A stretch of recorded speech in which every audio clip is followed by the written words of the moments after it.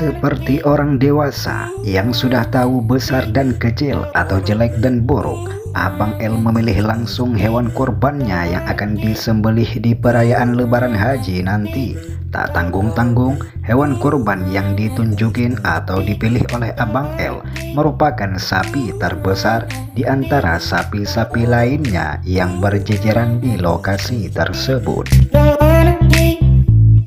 Sontak saja pemilik sapi tersebut langsung shock melihatnya. Bagaimana tidak, bayi sekecil itu sudah tahu yang mana sapi paling besar dan terbagus di tempat itu.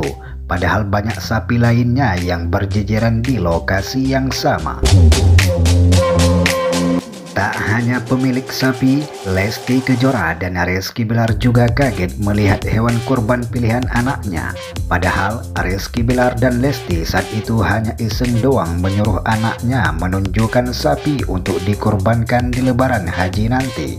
Namun, sudah dua kali berkeliling, akan tetapi bayi yang bernama lengkap Leslar Al-Fatih Bilar tersebut masih tetap menunjukkan sapi yang sama.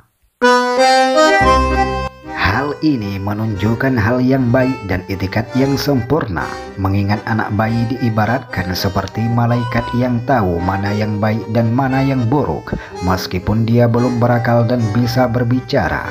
Setelah BBL menunjukkannya, Lesti Kejora dan Rizky Bilar tak pakai lama langsung membungkus hewan kurban berupa sapi yang dipilih langsung oleh anak mereka, Abang El untuk dikorbankan di hari raya haji nanti.